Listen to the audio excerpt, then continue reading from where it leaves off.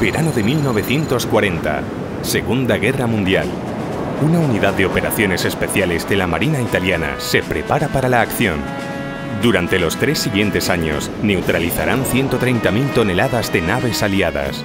En una acción llevada a cabo en las aguas próximas a Gibraltar, uno de sus torpedos tripulados coloca una carga explosiva adherida al casco de un carguero británico, posiblemente el Durham, sellando su destino para siempre. La explosión parte el barco en dos y lo envía a 80 metros de profundidad. 70 años después, nos sumergimos a su encuentro. El barco está lleno de rincones, está lleno de, de, secretos, de detalles. Aún conserva un montón de maquinaria, de, de luces estas antiguas tipo faroles. Tiene también un montón de vajillas. Cada rinconcito que vas mirando te vas encontrando cosas nuevas. Cada vez que bajo allí encuentro un motivo nuevo para volver. Primero que hacemos es cotejar las profundidades donde se encuentra el pecio.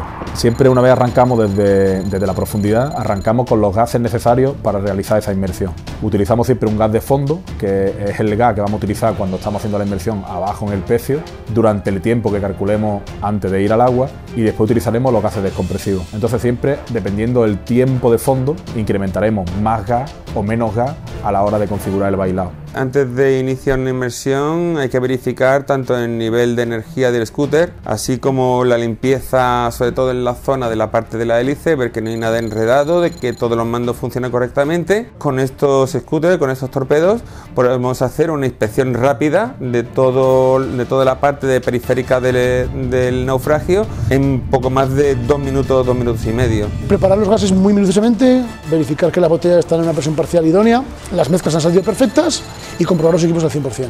La gente piensa que no es un buceo seguro, pero si tienen la, la experiencia, el entrenamiento adecuado y la máquina adecuada, podemos hacer del buceo profundo un buceo seguro.